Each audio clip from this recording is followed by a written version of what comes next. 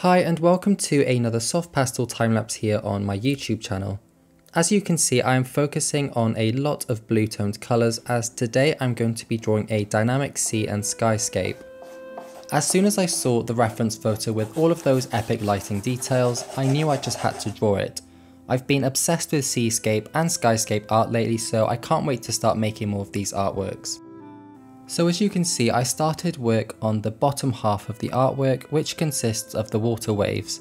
I first filled out the darkest shadowy areas with a black soft pastel just to help map out where everything was meant to go.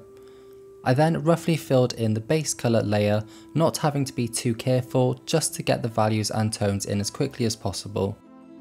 Once that was done, next it was time to blend and I used soft sponge tools for this. It was important to blend the colours together seamlessly but also leave some of the straight edges for the darkest areas as these give structure to the shape of the waves. The base layer doesn't have to be anything special though and it can be really off-putting at this ugly stage but as long as I push through to the pencil details it all starts coming together nicely. Now moving on to the pencil details, I'm going to first focus on one area at a time and here I've chosen the far top right side.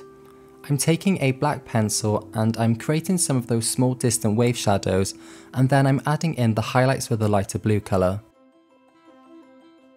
Moving on to adding the details in this darker area, it's a little bit more complicated. I need to think carefully about what colours I choose for the highlights.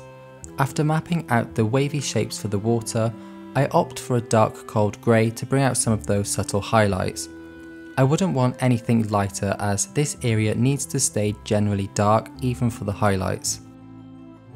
I'm mainly switching between varying shades of blue and grey pencils to bring out those highlights and the saturation.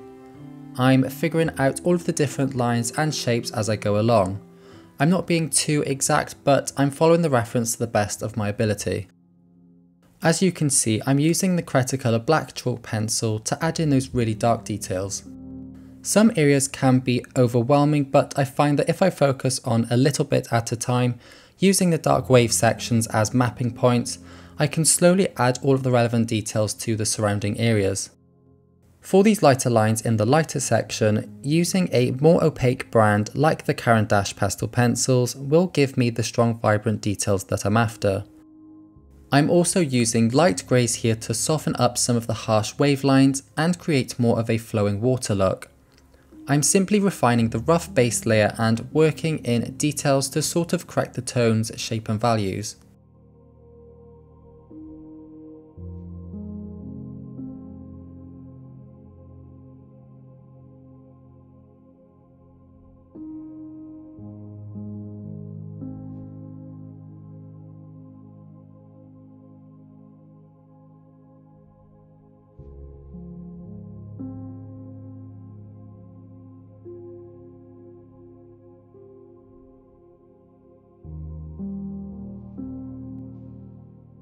For the sky, just as with the sea section, I'm going to start with a base layer of pastel.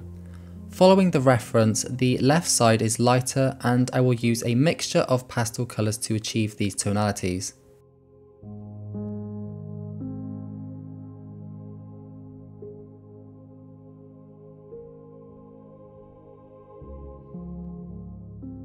So once I have the base layer nicely blended and smoothed out, I can then start creating the rough shapes of the clouds with my pastel sticks.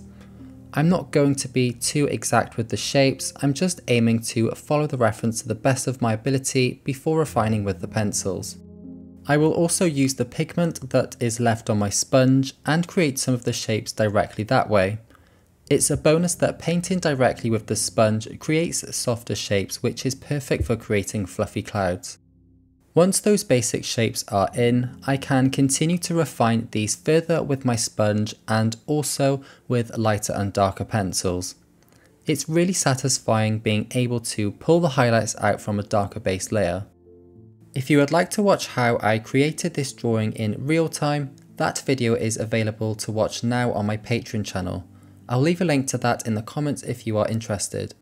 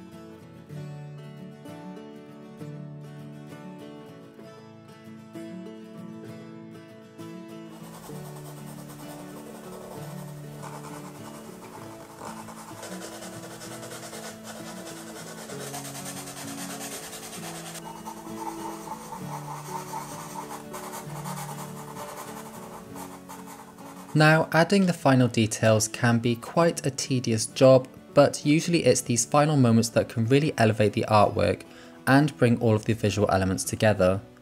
That being said, sometimes I can spend far too long on an artwork at the end, so it's also knowing when's good to stop. And I'm not sure about you, but I also find that it's best to do this early in the day, because times where I have finished an artwork late in the evening when I'm tired, I tend to make more mistakes and actually make the artwork worse rather than improve it. Nevertheless, when I do come to the end though, I like to take my time and be slow with the finalising, adding little bits here and there and refining some previous details that I may have rushed. I'm constantly stepping back from the artwork and comparing it to my reference which is right next to the artwork, seeing what major differences I can spot and fix. If you need any help in spotting what details need fixing, a good trick is to have the reference photo in your phone's camera roll as the latest photo and then take a photo of your artwork. You can then swipe back and forth the reference photo and the photo of your artwork and it's a pretty good way at picking up any errors or points of interest. Lastly, I always add a little signature in one of the bottom corners and here it is. I had so much fun creating this sea and skyscape in soft pastels. I'm used to drawing animals, so this was a lovely change. Hopefully this video has given you a little insight into how I work with pastels. If you would like a much more in-depth view into how I work, I have the real-time video for this artwork available now on my Patreon channel so you can watch exactly how I created this piece at your own leisure. The post on Patreon also includes the reference as well as all of the pencil colours I used and materials needed. As well as this particular artwork, I also have many other videos on many different topics. I specialise in creating realistic artworks in soft pastels, graphite and oil paints, so if that's something that you're interested in, I would love for you to come over and check out the channel by clicking the Patreon link in the description or by clicking the card in the corner now. I have also created a free beginner's guide to soft pastels which can be downloaded as a PDF from my website. Thanks for watching, feel free to like this video and subscribe if you would like to and I hope to see you again very soon.